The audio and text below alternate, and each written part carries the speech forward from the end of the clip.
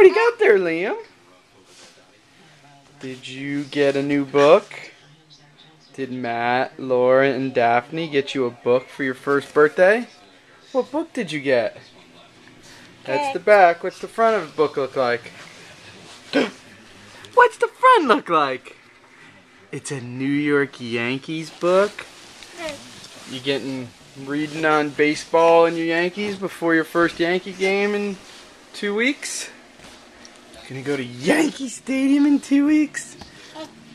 So you gotta read about your Yankees. Why don't you show everybody what, what they talked to us about? Pride and tradition of the Yankees. Matt, Matt said uh, they have this book for Daphne for the Minnesota Twins, but it's a heck of a lot shorter because it doesn't have to talk about all their championships and great players. So they just skip pages. Whole chapters missing! Thank you, Matt, Laura, and Daphne. We love our book. Go Yankees.